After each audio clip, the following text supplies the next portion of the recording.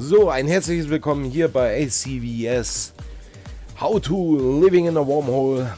Heute will ich euch ein bisschen präsentieren oder ein bisschen zeigen, wie ihr richtig im Wurmloch überleben könnt. Und die kleinen Feinheiten, wie ihr im Wormhole richtig agieren könnt. Dazu schalte ich jetzt gleich mal um aufs Spiel. Hab natürlich euch ein bisschen was vorbereitet. So, ihr seht jetzt mein Spiel. Natürlich, die Grafik ist jetzt nicht gerade der, der Burner. Ich habe den runtergeschraubt, weil meine Grafikkarte ist gerade ein bisschen am Kotzen. Warum auch immer. Ist mir jetzt auch Relativitätstheoretiker. So. Viele fragen mich, ja, äh, habe ja kein Problem, der Local funktioniert. Ja, er funktioniert. Mhm. Nein, er funktioniert nicht im Wurmloch. Das ist nämlich das größere, die größere Gefahr. So. Was tue ich, wenn ich im Wurmloch drinne bin? Ihr habt ja schon, wenn ihr hier drinne seid, habt ihr schon mal erfolgreich euren Scanner herausgefunden, wie der funktioniert. Oder ihr habt euch von Stone Cold oder Jason Booty ein bisschen äh, beleilen lassen und ihr seid einfach mal blindlings ins Wurmloch reingehüpft und wisst natürlich jetzt nicht, was ich zu tun habe. So, da möchte ich erst einmal anfangen mit den Skills. Bei den Skills ist folgendes zu beachten. Ihr habt hier in den Skillreitern habt ihr irgendwo, jetzt bin ich schlecht vorbereitet, Scannen. Hier drinnen. Ihr müsst wirklich alles, bis auf Archäologie und Hacking, so hoch wie möglich scannen. Denn da kriegt ihr Scan-Bonus auf die Leistung etc. Und ihr dürft nicht so schlampig sein wie ich, dass ich es nur alles auf 3 habe. Ich bin jetzt gerade selber dabei, die äh, Skills hochzuziehen. Aber ich habe noch andere Sachen, die ich auch noch hochskillen muss. Also so wie ihr seht. Ähm, ihr könnt natürlich, so wie ich, euch spezielle Schiffe holen. Wie zum Beispiel dieses nette Kästel. Kastel. Kästchen. Das ist nämlich eine Astero. Warum nehme ich die Astero? Erstens, sie hat ähm, Panzerungsresistenzen, das ist alles uninteressant, sondern sie hat 10, äh, 100% Reduktion des CPU-Bedarfs für TAR-Module. So kann ich mein Covered Ops betreiben. 37,5 Bonus auf die Stärke von Basis- und Gefechtssonden. Die Basis sind diese Core Scanner Probes oder Sister Core Scanner Probes. Und ich habe 10% Bonus auf die Verluststärke von äh, Relikt- und Datenanalysatoren. Ja, das ist jetzt tierisch uninteressant für mich, weil ich werde ja keine Relikte jetzt mit dem Ding da machen. Aber ich habe einen Bonus auf die Scanner. Ich habe aber dazu auch noch meinen Sister Core Scanner Probe hergenommen, denn der gibt mir auch nochmal 10% Bonus auf die Stärke von den Scansonden. Natürlich bin ich dann knausrig geworden und habe einfach mal die billigen Kurs äh, Scanner Probes mitgenommen und mir gedacht, hier geht schon. Ja, ihr seht jetzt gerade bei mir im Fitting auch noch die Co-Prozessoren. Die brauche ich eigentlich gar nicht. Aber weil der Herr ja auch noch die Monde ausscannt mit diesem Server-Scanner, kriege ich die nur drauf, wenn ich die Co-Prozessoren mit drauf packe und alles ausschalte, wie zum Beispiel die zwei Dinger hier. So, so, so viel zum Thema Probe Launcher und die, deren kleinen Unterschiede. Also der ist zum Beispiel nur dafür da, dass ich die Monde ausscannen kann, also dass ich diese Sonden auf die Monde abschießen kann. So, natürlich habe ich im Fitting noch drinnen, so wie ihr seht, die Scan äh, Acquisition Array Tag 1. Reduziert die Scandauer von Scansonden, kann aber maximal nur einmal verbaut werden. Das gleiche ist mit dem Ding hier, den Rage Fending. Erhöhte Scanleistung beim Scannen mit Scansonden. Nachteil: Beim Einsatz mehrerer Module oder Modifikation des gleichen oder ähnlichen Typs, die dasselbe Attribut des Schiffes beeinflussen, wird denen Wirksamkeit eingeschränkt. Was bringt es mir? Ich habe jetzt nur ein so ein Teil drin, glaube ich, jedenfalls. Hoffe ich jedenfalls. Oh, mal schnell reingucken. Nein, ich habe da noch ein Gravity Capacitor. Das habe ich noch. Ja, genau, Scan-Verstecker. So, was bringt mir das Ding hier? Das Teil hier. Es bringt mir einen kleinen Scan-Stärkenbonus äh, von 5%. Aber, weil ich ein ausgebuffter Kerl bin, habe ich mir gedacht, haust dir noch einen Rig rein, was mir nochmal 15% extra gibt. Also ist was ähnliches erbaut, also werde ich nicht ganz auf meine 20% kommen, sondern wahrscheinlich nur auf 17 oder 18%, aber 2% oder 3% mehr macht auch schon viel aus. So, für die Jungs, die noch nie gescannt haben, gibt es folgende Regel. In einer Post mit so einem Force Field könnt ihr nicht scannen. Ihr kriegt die Sonden einfach nicht raus. Der einfachste Weg ist, ihr lurt mal ganz kurz aus dem Force Field raus. So wie ich jetzt, jetzt gerade mit vollem Speed mache. Ich hätte einen Afterburner reinpacken sollen. Ja, hinterher ist man immer schlau. So, ja, spulen wir halt. Warten wir einfach mal, bis ich hier draußen bin. So, schmeiß sie aus und gehe panikartig wieder rein. Warum gehe ich wieder rein? Weil in diesem Force bin ich erstmal safe vor Angriffen. Man kann mich nicht aufschalten.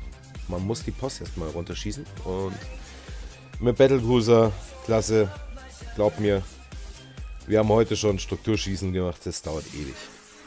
Und will man nicht. So. Jetzt möchte ich ja dieses. Jetzt habe ich die Sonden draußen. Aber ich weiß ja noch nichts. Also ich kann nicht scannen. Oder was macht das Zeug jetzt?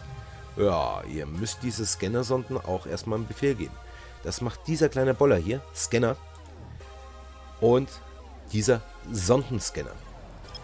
So, ihr seht jetzt hier, bekommt ihr eine Auflistung von diesen Scannersonden. Ihr habt hier einen Haufen X. Und ich möchte gerne dieses X da hinten, möchte ich gerne jetzt mal, oder nehmen wir das X hier, das mag er wenigstens, kann ich auswählen, warum das nicht auswählen kann, ah jetzt, ich möchte dieses X hier, das hier, möchte ich gerne ausscannen. So, wenn ich jetzt hier näher ran scanne, sehe ich auch noch so eine Sphäre um das X rum. Dazu komme ich gleich, erkläre ich euch gleich. Jetzt bewege ich erst einmal, was wichtiger ist. Ne? Meine Scanner-Sonden auf dieses X hin. So, das mache ich jetzt so perplex. Muss jetzt nicht ganz so genau sein, wie ich es mache, aber ich mag es einfach so. So, jetzt haben, haben wir eine blaue Sphäre, das sind meine 8 Scanner-Sonden, und eine rote Sphäre. So, diese rote Sphäre sagt euch, breitet euch mal aus, ungefähr in dieser Sphäre befindet sich irgendwo das Signal erstmal. Wir gehen jetzt auf 8 Lichtjahre mit den Scannersonden und lassen erstmal analysieren. So, jetzt warpen die Scannersonden los an diese Stelle, wo ich denen gesagt habe, verteilen sich dort und fangen an zu scannen. So, das dauert ein bisschen. Wow, ich habe hier ein... Na, was haben wir hier? Kann man jetzt nicht sehen. Moment. Oh, ein bisschen größer. Ich habe hier ein Gasgebiet. Also Juden würden sich freuen, das ist ein Gasgebiet. So, jetzt muss ich aber, ich weiß jetzt bei circa na, 26%, das ist ein leichtes Scanbild, dass es hier ein Gasgebiet ist. So, jetzt bewege ich meine Scannersonden wieder ein bisschen näher ran und verringere die Scannerleistung, um ein genau, äh, genauere Erfassung der Position zu bekommen. So, jetzt fange ich wieder das Analysieren an. Wir sind jetzt bei 26,7%. Und ich möchte gerne mehr wissen. Oh, 55,4. Die Position hat sich nur ganz minimal verändert. Ich ziehe meine Scannersonden nach. So. So, werde wieder die Leistung verringern und fange nochmal das Analysieren an. So, bei euch leckt es jetzt ein bisschen im Video, aber das soll jetzt nicht so stören. Wow, ich habe es ausgescannt. Ich habe ein geringfügiges Gasgebiet gefunden. So, ich könnte jetzt hinwarpen, mache ich aber noch nicht, denn meine Scan-Sonden haben eine gewisse Lebensdauer. In dem Fall leben die eine Stunde drei Minuten, bis sie kaputt sind. Die ziehe ich erstmal wieder ein. Lade sie auch wieder nach, weil ich bin ein ordentlicher Mensch. Und jetzt könnte ich dorthin warpen. Das tue ich jetzt auch, aber nicht direkt auf 0, sondern auf 70 Kilometer.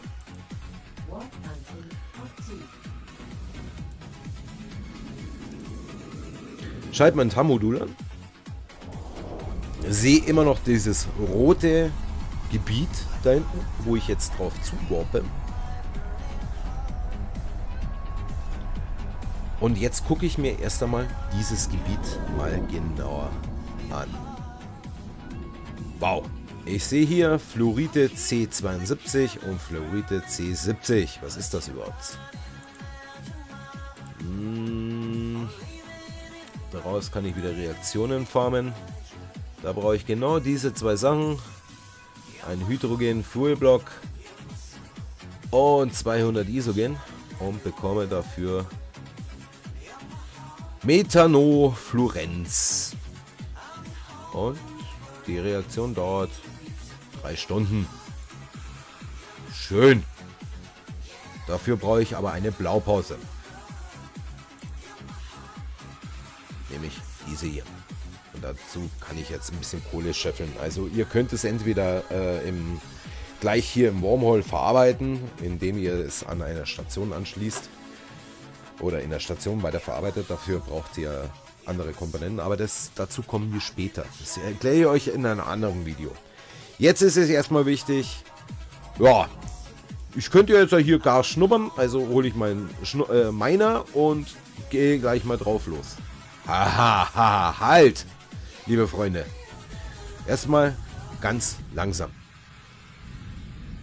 Wir sind hier im Wurmluch, äh, Wurmluch, ja, Wormhole. Das heißt auf gut Deutsch, es ist nicht gerade so einfach, jetzt hier das Gas abzuminern. Das Problem ist, sobald ich hier an dem Gas minere, werden früher oder später sogenannte NPC-Gegner auftauchen, also Sleeper, die dann meinen, äh, mein Freund, schön, dass du meinen mein Auspuff schnuppern willst, aber ich mag dich nicht, deswegen schieße ich dich aus dem Schiff raus. Daher müsst ihr euch immer ausrichten auf einem Planeten oder am besten auf die Station oder Post. Und dadurch, ihr müsst ja nicht mit vollem Speed fliegen, fliegt dann mit Dreiviertel Speed oder halben Speed, je nachdem wie schnell euer Schiff ist. Eine Fregatte ist dementsprechend verdammt schnell. Schnuppert an dem Gas umeinander oder umkreist das Gas. Aber bleibt bitte nicht stehen wie im Highsec. Denn stehende Schiffe sind tote Schiffe. So, jetzt habe ich aber noch ein Problem. Ich habe immer noch das Problem mit dem Local. Ich weiß ja nicht, wer da ist. Ja, meine Freunde, das Problem ist auch schnell gelöst. Ihr geht wieder auf den Scanner. Jetzt geht ihr aber nicht auf den Sondenscanner, sondern auf den Richtungsscanner. So, jetzt ploppt das gleiche Fenster wieder auf, ihr schon mal gesehen habt. Und seht hier eine komplett andere Einstellung. Also hier die Entfernung. Ich kann auf 14,3 AE komplett aufblähen. So, seht ihr es besser? 14,3 und ich kann um 360 Grad scannen. Es gibt nur einen kurzen Impuls und ich sehe, was sich hier befindet.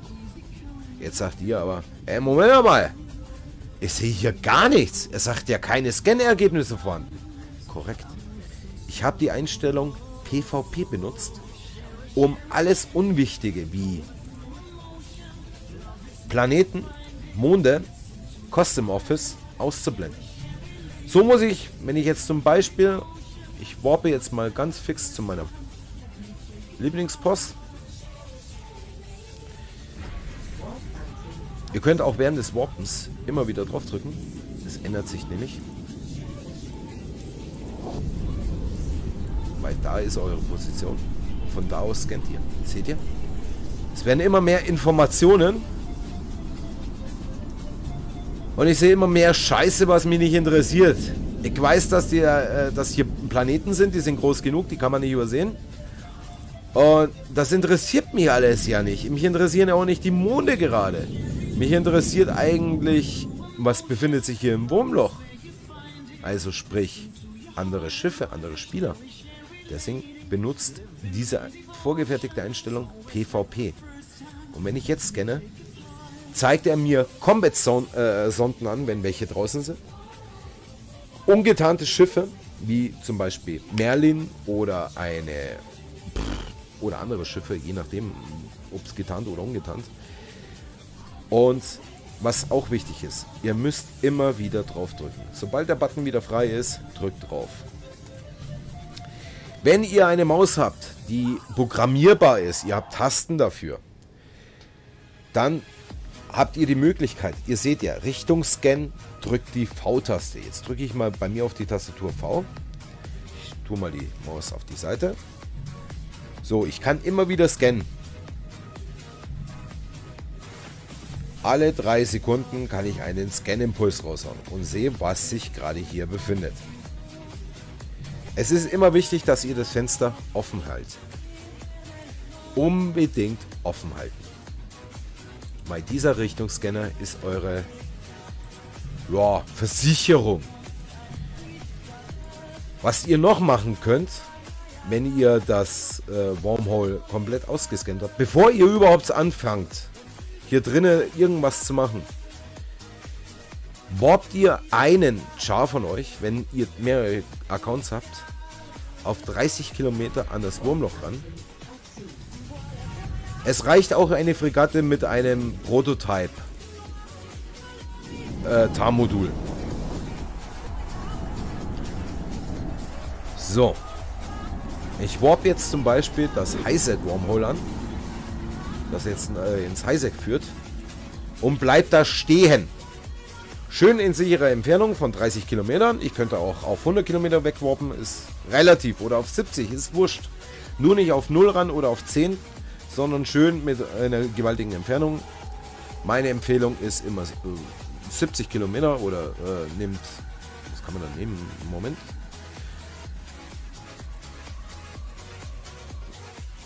Sehen wir jetzt irgendwas, was ich antworten könnte? So, Ihr könnt auf 50, 70 und 100. Meine Empfehlung ist immer die 70. Ich warp immer auf 70. Aber nicht einfach so blöd dastehen, sondern bewegt euch ein bisschen weg von dem Ding. Weil der nächste kommt von dem Planeten und denkt sich, ah, ihr seid schon ein bisschen doof, ihr werdet wahrscheinlich von der Post gekommen sein.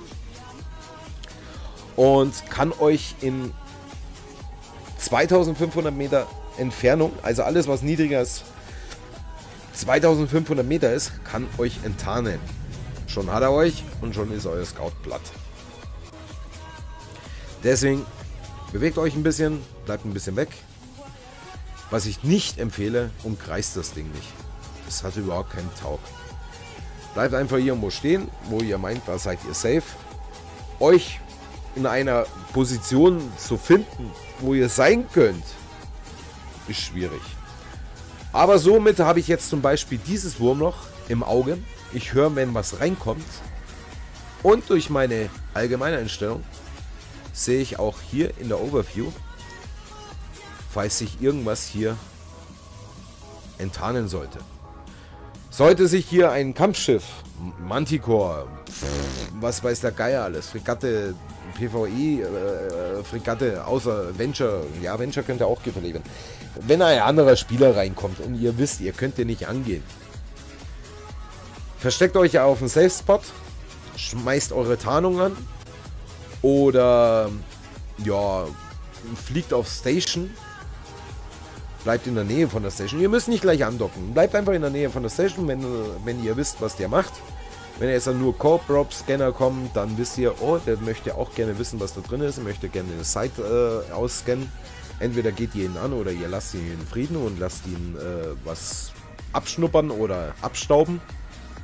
Es liegt an euch. Aber was ich euch empfehle, bleibt immer auf Nummer sicher. Ihr wisst nicht, nicht jede Venture ist zum Minern da, denn die Venture wird auch ganz gerne genommen als Scout, weil die ist schnell, die ist schnell im Warp, die ist schnell weg. So, was ich jetzt natürlich im Wormhole wieder nicht gemacht habe, ist der Dauerscan. Normalerweise, wenn ich im Wormhole bin, benutze ich auch den Dauerscanner. Es muss nicht andauernd gescannt werden, aber ab und zu mal draufdrücken, gucken, alles gut. Dann wieder mal warten, bisschen draufdrücken, alles gut und so weiter und so fort. So seid ihr im Wurmloch sicher. Bevor ihr startet im Wurmloch, benutzt euren Sondenscanner, nehmt euch die Zeit, ihr müsst nicht jede äh, Anomalie anworten, sondern zumindest schon mal ausgescannt haben. Also ihr wisst, womit ihr euch, äh, was hier drin äh, sich befindet. Andere Wurmlöcher zum Beispiel würde ich euch markieren, würde reinlunzen. Wo geht das hin? Das könnt ihr ganz easy rausfinden, wenn ihr auf das Wurmloch auf dieses Info anzeigen drückt oder auf nee, hier auf das Info anzeigen, dann seht ihr schon ein instabiles Wurmloch in den Tiefen des Alls. Wurmlöcher dieser Art brechen für gewöhnlich nach ein paar Tagen zusammen, bla bla bla, interessiert uns nicht. Uns interessiert nur ab hier, was, äh, was schreibt das Wurmloch uns hier. Dieses Wurmloch führt scheinbar in gut gesicherte Bereich des Alles. Dieser Text heißt, das Ding führt mich ins Highsec.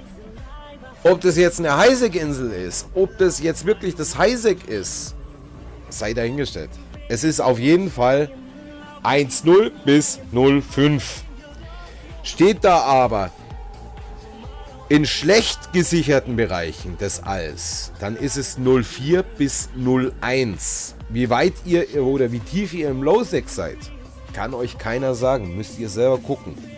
Also raus, äh, rausspringen, gucken, wie weit bin ich von meinem Trade Hub entfernt oder vom nächsten Trade Hub entfernt. Hier weiß ich, das führt mich nach Hedion. Also ein Sprung von Amar weg. Gut, weiß ich Bescheid. Und dann ist dieses, dieser Textabsatz auch sehr wichtig. Äh, dieser Textabsatz ist auch sehr wichtig.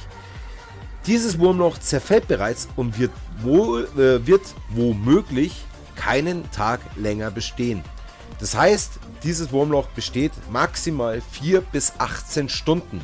In dieser Zeitspanne kann irgendwann einmal das Wurmloch zusammenbrechen dann ist dieser Textabschnitt für euch auch von Bedeutung, nämlich die Stabilität dieses Wurmlochs wurde noch nicht so stark von den durchfliegenden Schiffen beeinträchtigt.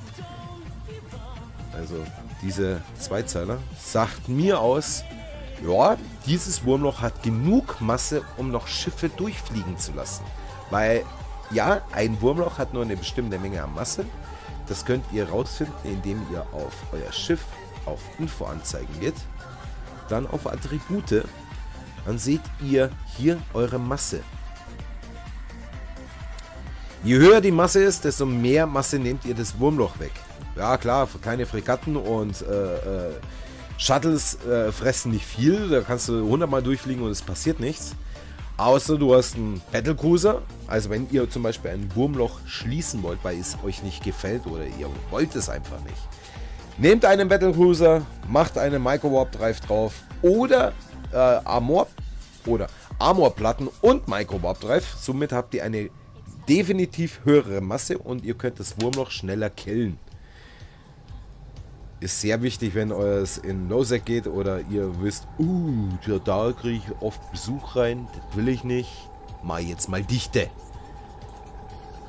Aber bedenkt, macht es nicht so oft und achtet immer auf diese Information hier, wie stark beeinträchtigt ist. Es kann nämlich passieren, dass genau wenn ihr jetzt wieder rausfliegt, das Wurmloch dann sich schließt, weil die Masse beendet ist oder die Masse erreicht ist. Dann habt ihr euch selber ausgesperrt und euer Zeug bleibt hier im Wurmloch. Und ihr seid da draußen. Ob ihr das Wurmloch dann wiederfindet, hm, ist sehr unwahrscheinlich. So, dann haben wir aber noch eine einzige Information, die für uns wichtig ist, nämlich diese hier.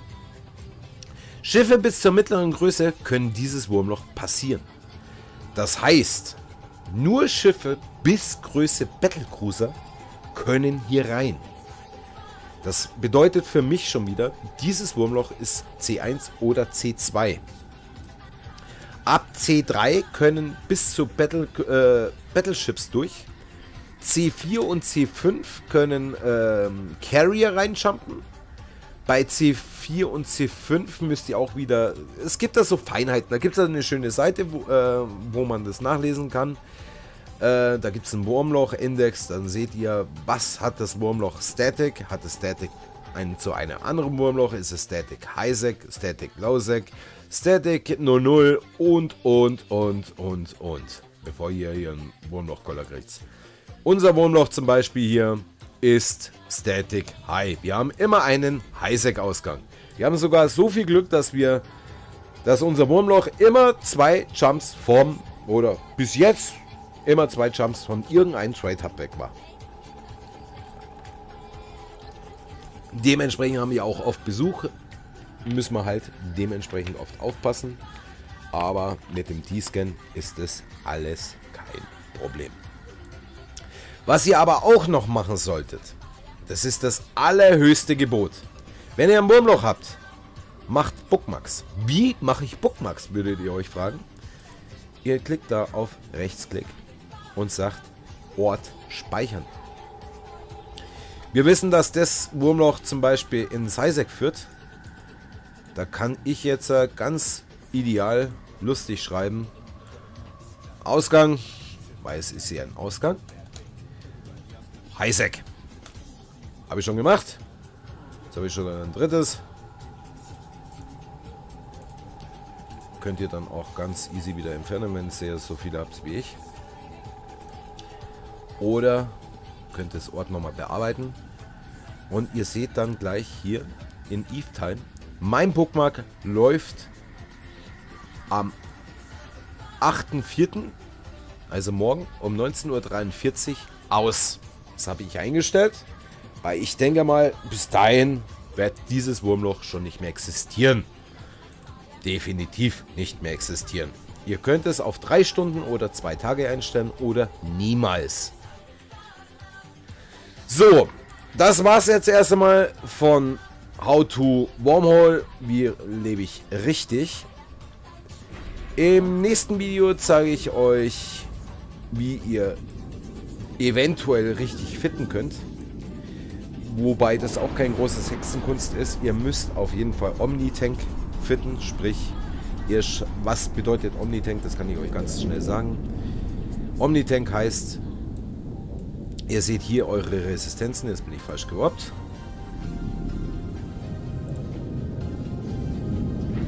Omnitank heißt, ihr habt hier eure Resistenzen Oh, was war das? Egal. So, nochmal. Omnitank bedeutet, ihr habt eure Resistenzen hier. In meinem Fall ist es 0, 20, 40, 50. Und ihr versucht mit eurem Fitting diese Resistenzen, also ich bin auf jeden Fall Schild, äh, Schildtank. Das heißt, meine Schilde müssen 50, 50, 50, 50 sein oder 70, 60, 70, 60. Beispielsweise. Das nennt man Omnitank. Also ich schaue, dass ich alle meine Resistenzen einigermaßen gleichmäßig nach oben schraube. Das kann ich mit Rex machen oder mit Met-Slots oder auch mit Low-Slots. Aber das zeige ich euch im nächsten Video. Da werde ich euch ein paar Schiffe präsentieren, die ihr benutzen könnt. Und ich bedanke mich fürs Zusehen hier bei How to Living in a Wormhole. Ich freue, äh, ich hoffe, es hat euch gefallen. Ich würde mich freuen, wenn äh, ihr beim nächsten Video wieder dabei seid, wenn ich dann euch erkläre, wie das Fitten, äh, richtige Fitten von den Schiffen funktioniert. Und ja, ich wünsche euch bis dahin viel Spaß. Ciao.